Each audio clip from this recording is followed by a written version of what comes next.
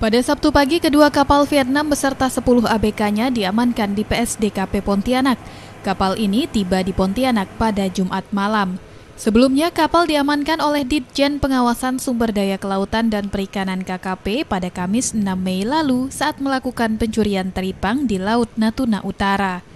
Menurut KKP, penangkapan yang dilakukan kapal ini dengan alat troll yang spesifik mengincar spesies teripang atau mentimun laut dengan alat yang dapat menghancurkan bagian bawah laut. Modus pencurian seperti ini tergolong operandi baru yang belum pernah ditemukan sebelumnya. Dalam hal ini dua kapal tersebut bisa kami lumpuhkan dan kami peroleh uh, apa kenyataan di situ ternyata mereka mengambilnya bukan lagi ikan yang di atas uh, permukaan atau di, di, di ini di dasar. Ini ikan-ikan teripang, teripang yang diambil. Artinya apa? Justru dengan teripang itu dia lebih e, mainnya kayak troll.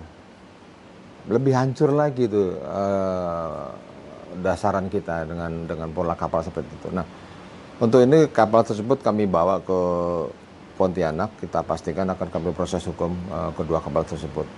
Ini e, membuktikan bahwa SDKP atau KKP ini serius dalam uh, melakukan operasi di akhir Ramadan ini. Petugas juga mengamankan tiga tong plastik yang berisi teripang yang sudah dibersihkan dan sudah diberi garam. Kedua kapal beserta 10 ABK asal Vietnam ini untuk sementara diamankan di PSDKP Pontianak sambil menunggu proses hukum lebih lanjut.